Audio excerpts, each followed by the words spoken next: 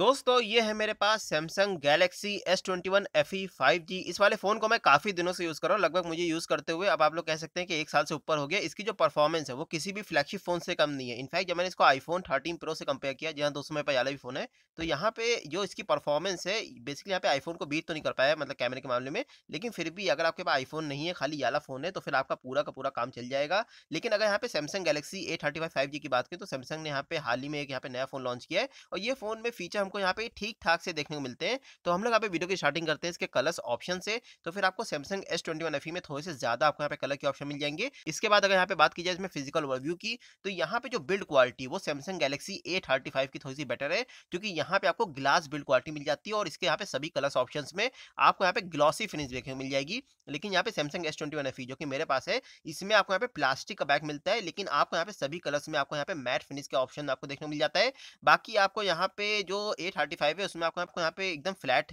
वाले ही आपको देखने मिलेंगे जैसे कि हमको आईफोन में देखने को मिलता है लेकिन यहाँ पे एस ट्वेंटी वन एफ़ में आपको हल्के से यहाँ पे कर्व देखने को मिल जाते हैं तो फिर यहाँ पे जो ग्रिपिंग आती है वो थोड़ी सी आपको यहाँ पे बेटर देखने मिल जाएगी लेकिन यहाँ पे एस ट्वेंटी वन में आपको यहाँ पे मेटल के फ्रेम देखने मिलते हैं ए थर्टी फाइव में आपको यहाँ पे जो प्लास्टिक के फ्रेम है वो मिलते हैं जी हाँ दोस्तों तो यहाँ पे ये थोड़ा सा फ़र्क है बाकी आपको यहाँ पे दोनों ही फ़ोन में टिपल यानी कि तीन कैमरे का आपको यहाँ पे सेटअप देखने मिल जाएगा जो कि वर्टिकल ऑर्डर में एक यहाँ पे बटन लेआउट डिज़ाइन में तो यहाँ पे लुक एंड डिज़ाइन दोनों ही फ़ोन का काफ़ी अच्छा है लेकिन बिल्ड क्वालिटी में कहीं ना कहीं ए थर्टी फाइव थोड़ा सा आगे निकल जाता है इसके बाद अगर यहाँ पे फॉर्म फैक्टर की बात की जाए तो यहाँ पे एस ट्वेंटी वन थोड़ा सा बेटर है, क्योंकि ये फ़ोन थोड़ा सा हल्का है, थोड़ा सा पतला है तो यहाँ पे जो बिल्ड क्वालिटी है, वो यहाँ पे ए थर्टी फाइव की अच्छी लेकिन फॉर्म फैक्टर आपको यहाँ पे एस ट्वेंटी वन का थोड़ा सा बेटर देखने को मिल जाएगा। इसके बाद अगर यहाँ पे बात की जाए इसमें इन दबॉस कंटेंट की तो फिर दोनों ही सैमसंग के फ़ोन से तो फिर आपको ज़्यादा कंटेंट देखने को नहीं मिलेगा। बैक कवर चार्जर आपको इन दबॉस में नहीं मिलता, हालाँकि फ़ोन दोनों जो है, वो सिर्फ़ सिर्फ़ पच्चीस वॉट की खाली फास्ट चार्जिंग सपोर्ट करते हैं, और ये जो जो चार्जर है, वो आप लोग देख पा रहे हैं, ये मैंने सैमसंग का अलग से खरीदा, पच्चीस वॉट का थोड़ा सा महँगा आता है। बाकी ईयरफोन्स स्क्रीन कार्ड आपको दोनों फ़ोन में देखने को नहीं मिलेंगे। और आपको मिलता क्या है खाली USB type C to type C charging cable SIM tray ejector pin देखने मिल जाएगा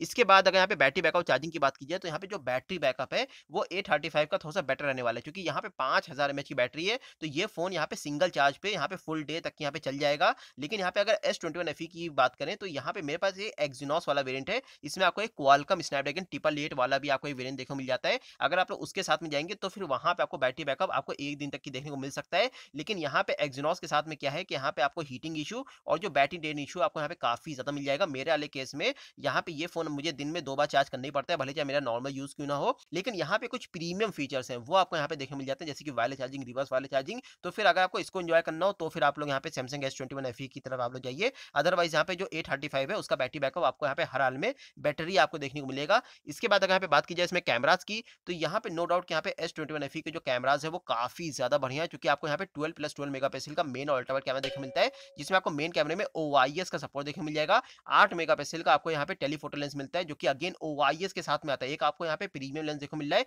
जिसमें आप लोग यहाँ पे थर्टी एस तक यहाँ पे जूमिंग कर सकते हैं। लेकिन अगर यहाँ पे ए की बात करें तो यहाँ पे फिफ्टी मेगा का मेन कैमरा ओ के साथ में तो है, लेकिन इसका अल्ट्रावाइड कैमरा इतना ज़्यादा बेटर नहीं, सिर्फ़ सिर्फ़ आठ मेगा का और अल्ट्रावाइड कैमरा जो कैमरा होता है, उसमें अगर यहाँ पे मेगा अगर कम होते हैं तो फिर आपको यहाँ पे जो मतलब क्वालिटी है, वो इतनी ज़्यादा बढ़िया आपको देखने को नहीं मिलेगी। बाकी पाँच मेगा का आपको यहाँ पे मैक्रो कैमरा मिलता है, कोई भी टेलीफोटो लेंस नहीं है। लेकिन अच्छी बात यह है कि यहाँ पे दोनों ही फ़ोन से आप लोग यहाँ पे फोर के तक की वीडियो रिकॉर्डिंग कर सकते हैं सेल्फी की बात करें तो अगेन हमको यहाँ पे ए थर्टी फाइव में हमको यहाँ पे कॉम्प्रोमाइज मिलता है सिर्फ़ सिर्फ़ तेरह मेगा की खाली हमको सेल्फी मिलती है लेकिन एस ट्वेंटी वन में हमको यहाँ पे बत्तीस मेगा की सेल्फी मिल जाती है और यहाँ पे भी अच्छी बात यह है कि दोनों ही फ़ोन से आप लोग सेल्फी से भी फोर के तक की वीडियो रिकॉर्डिंग कर सकते हैं तो फिर मैं फाइनली आपको यहाँ पे सैमसंग एस ट्वेंटी वन से आपको यहाँ पे कुछ रिज़ल्ट जो है वो मैं आपको यहाँ पे शो कर देता हूँ आप लोग इंडोर के देख लीजिए आउटडोर के देख लीजिए इसकी जो डायनेमिक रेंज है एज जो डिटेक्शन है शार्पनेस है डिटेल्स है आपको यहाँ पे सभी कुछ काफ़ी ज़्यादा बढ़िया देखने मिल जाएगा आपको यहाँ पे लग रहा होगा कि हाँ एकदम फ्लैगशिप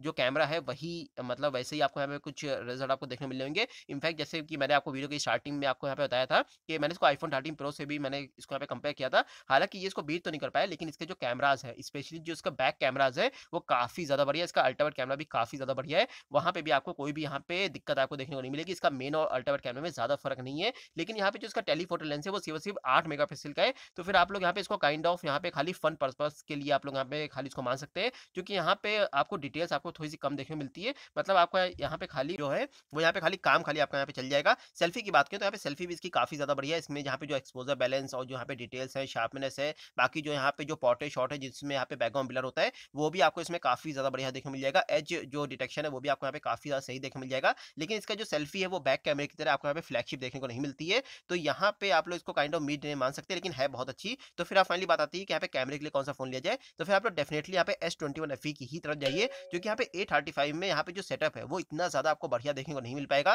पहली बात तो यहाँ पे सेल्फी है उसमें आपको यहाँ पे कॉम्प्रोमाइज़ मिलता है प्लस यहाँ पे कोई भी आ, मतलब टेलीफोटो लेंस नहीं अल्ट्रावेट कैमरे में भी आपको कहीं ना कहीं थोड़ा बहुत आपको यहाँ पे कॉम्प्रोमाइज़ देखने को मिल रहा है इसके बाद अगर यहाँ पे डिस्प्ले की बात की जाए तो यहाँ पे डिस्प्ले की क्वालिटी आपको दोनों फ़ोन में काफ़ी ज़्यादा बढ़िया देखने मिल जाती है हालाँकि जो एस ट्वेंटी है इसका साइज़ थोड़ा छोटा है तो इसका इन हैंड फील काफ़ी सही आता है लेकिन यहाँ पे ए में आपको सिक्स पॉइंट सिक्स इंचेस का थोड़ा सा एक बड़ा साइज़ का आपको यहाँ पे डिस्प्ले मिल जाता है बाकी आपको दोनों में फुल एचडी प्लस एक एमुलेट टाइप आपको यहाँ पे पैनल देखने मिल जाएगा जिसमें आपको यहाँ पे क्वालिटी काफ़ी ज़्यादा बढ़िया देखने मिल जाएगी और यहाँ पे जो कलर्स होते हैं वो भी यहाँ पे सैमसंग के काफ़ी ज़्यादा पंची होते हैं जैसे कि रेड है तो काफ़ी ज़्यादा आपको यहाँ पे रेड देखने मिलेगा लेकिन आईफोन में ऐसा नहीं होता आईफोन में काफ़ी मतलब नेचुरल साइड पर ही यहाँ पे कलर्स होते हैं बाकी प्रोटेक्शन आपको दोनों फ़ोन में काफ़ी बढ़िया मिल जाती है विक्टर्स की हालाँकि यहाँ पे ए में आपको यहाँ पे एक यहाँ पे जनरेशन आपको एक अप यहाँ पे प्रोटेक्शन देखने मिल जाती है बाकी यहाँ पे आपको दोनों फ़ोन में हंड्रेड एंड का हाइयर स्क्रीन मिल जाता है तो फिर स्मूथनेस काफ़ी सही मिल जाएगी बाकी एस ट्वेंटी में मैंने मतलब गेमिंग करके देखा स्क्रोलिंग में कोई भी दिक्कत नहीं आती बहुत ज़्यादा स्मूथ काम करता है डिस्प्ले बाकी जो ब्राइटनेस है एट थर्टी फाइव की भी अच्छी है थाउज़ेंड इसके आसपास है लेकिन एस ट्वेंटी वन एफ़ में आपको यहाँ पे ट्वेल्व हंड्रेड निस तक की आपको यहाँ पे ब्राइटनेस मिल जाती है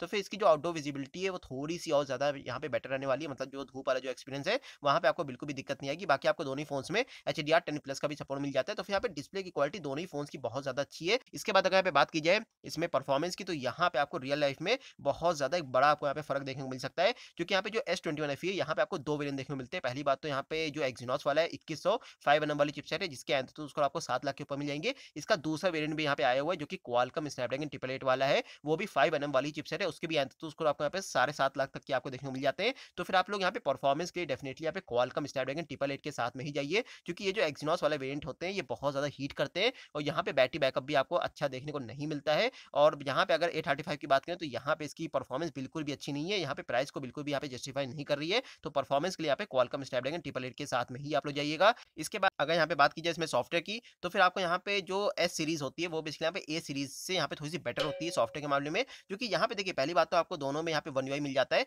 हालाँकि जो एस ट्वेंटी वन है इसको लॉन्च हुए काफ़ी ज़्यादा टाइम हो गया मतलब ये फ़ोन एंड्रॉइड ट्वेल्व पे लॉन्च हुआ था लेकिन यहाँ पे इसमें एंड्रॉइड सिक्सटीन तक के अपडेट्स आएँगे लेकिन यहाँ पे ए थर्टी फाइव पे अभी लॉन्च हुआ है तो यहाँ पे एंड्रॉइड फोर्टीन पे लॉन्च हुआ है इसमें आपको एंड्रॉइड एटीन तक की अपडेट्स मिलेंगे तो अपडेट्स के मामले में ए थर्टी फाइव आगे निकल जाता है लेकिन जो सॉफ्टवेयर एक्सपीरियंस है जैसे कि आपको यहाँ पे दोनों ही फ़ोन में बेसिकली यहाँ पे ए सीरीज़ हो गई या तो एस सीरीज़ हो गई आपको यहाँ पे नॉक सिक्योरिटी सिक्योर फोल्डर और जी सैमसंग वॉलेट और यहाँ पे जो एच पैनल ये सभी प्रीमियम फीचर्स आपको देखने मिल जाते हैं। लेकिन जो सैमसंग डेक्स है, वो आपको यहाँ पे सिर्फ़ सिर्फ़ एस सीरीज़ में ही देखने मिलेगा। ए सीरीज़ में आपको देखने को नहीं मिलता है। और यहाँ पे अगर बात की जाए इसमें कुछ और बड़े फीचर्स की तो फिर आपको दोनों में इन डिस्प्ले फिंगरप्रिंट सेंसर मिल जाता है। सैमसंग में जो एस ट्वेंटी एफ़ इसमें यहाँ पे मैंने यहाँ पे टेस्ट किया काफ़ी फास्ट काम करता है एक्यूरेट एक बार में खुल जाता है। फेस अनलॉक ऑप्शन है थ्री पॉइंट फाइव का सपोर्ट नहीं है। सिम ट्रे जो है वो यहाँ पे जो ए थर्टी फाइव है, उसमें आपको हाइब्रिड मिल जाती है। तो यहाँ पे ये काम अच्छा किया गया है। बाकी दो स्पीकर का सपोर्ट आपको दोनों फ़ोन में देखने मिल जाएगा। आईपी सिक्सटी एट की रेटिंग आपको यहाँ पे Samsung S twenty one F में मिल जाती है। ए थर्टी फाइव में आपको यहाँ पे आईपी सिक्सटी सेवन की मतलब देखने को मिलती है। ये थोड़ी सी काइंड ऑफ़ एक हल्की सी मतलब थोड़ी सी कम यहाँ पे रेटिंग होती है as compare to IP sixty eight इसके बाद अगर यहाँ पे वेंट रेट की बात की जाए तो फिर आपको वेंट रेट अच्छे मिल जाते हैं दोनों फ़ोन में। बाकी यहाँ पे एस ट्वेंटी वन एफ़ जो क्वालकम स्नैपड्रैगन ट्रिपल एट के साथ में जो आया था,